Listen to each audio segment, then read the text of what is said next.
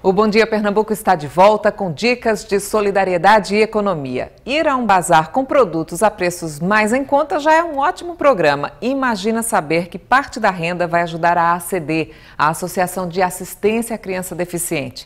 Tudo isso está na Feira Solidária em Boa Viagem, no Recife. As modelos eram lindas, mas as crianças assistidas pela ACD roubaram a cena.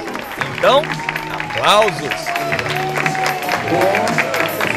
Maria Luísa adorou ser estrela. O povo bateu palma e, e tirou foto. E você gostou? Gostei. Tudo que foi usado no tapete vermelho estava exposto nos estandes. E a boa, com aquele precinho que todo mundo gosta.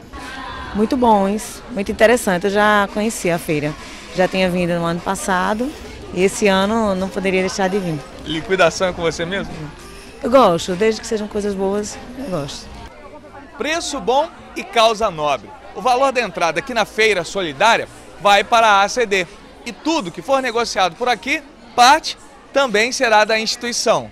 O valor que entra, que a gente arrecada, que vai servir para a gente capacitar nossos funcionários, para a gente fazer um montão de coisa, é maravilhoso.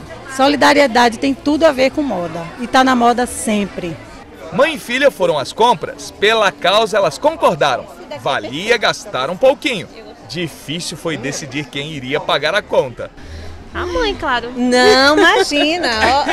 Óbvio que é a filha que vai pagar. Até porque estamos próximos ao Dia das Mães. Né, filha? É, é vou pensar.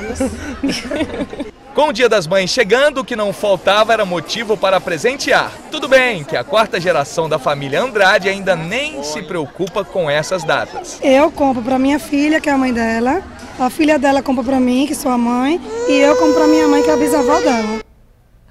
Legal, hein? Hoje a Feira Solidária vai das 10 da manhã às 9 da noite. A entrada custa R$ 5,00. A feira está no Arcádia Boa Viagem.